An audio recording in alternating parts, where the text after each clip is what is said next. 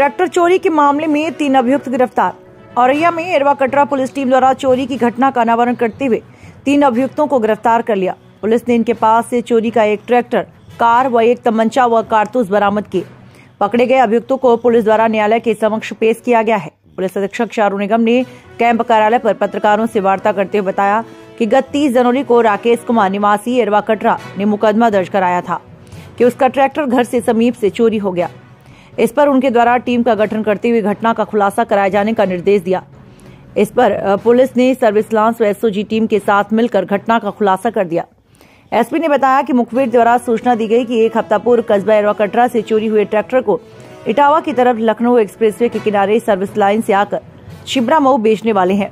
इस सूचना पर तत्काल पुलिस टीम द्वारा, मुखबिर द्वारा बताया गया स्थान उमरैन से इटावा जाने वाले सर्विस लाइन पर आगरा एक्सप्रेसवे के अंडर पास वाले नगला दौलत तिराहे पर आ रहे ट्रैक्टर व पीछे से आ रही टाटा टियागो को रोका गया।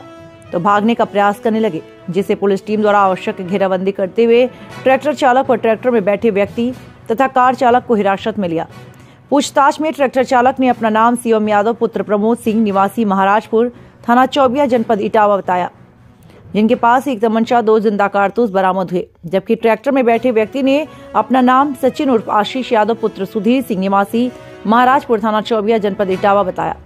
इसी तरह से कार चला रहे व्यक्ति ने अपना नाम दीपक कुमार यादव, पुत्र राम सर्जन यादव, निवासी महाराजपुर थाना चौबिया, इटावा बताया। बरामद ट्रैक्टर का नंबर व चेचिस नंबर से उपरोक्त मुकदमे से मिलान किया गया तो सही पाया। पकड़े गए अभियुक्तों को पुलिस ने न्यायालय के समक्ष पेश किया है। उप संपादक विमल पांडे के साथ कैमरामैन मोहम्मद साहिब। अरवा कटरा में 29 बटा 30 की रात्रि को एक ट्रैक्टर चोरी हुआ था। इसमें वादी राजेश कुमार की तहरीरी सूचना पर अभियोग पंजीकृत किया गया था। इसमें टीम्स लगाई गई थी। इसमें सूचना प्राप्त हुई थी कि जो चोर है, वो इस ट्रैक्टर के साथ लखनऊ एक्सप्रेस वे पर कहीं जा रहे हैं, जिस, जिससे कि इसको डिस्पोज कर सके, बेच सके। तो बाईस बजे आज रात छः दो चौबीस को इसे, तीन अभियुक्तों को मैं चोरी का ट्रैक्टर और एक गाड़ी टियागो सफ़ेद रंग की, जिसको चोरी के दौरान भी यूज़ किया गया था। ये पकड़े गए हैं, जो कि शिवम यादव, सचिन उर्फ़ आशीष यादव और दीपक कुमार। ये सभी आपस में रिलेटेड है और ये जिला इटावा थाना चौबिया ग्राम महाराजपुर के रहने वाले हैं। इसमें जामा तलाशी में शिवम यादव से एक 315 बोर तमंचा और दो कारतूस भी बरामद हुए हैं।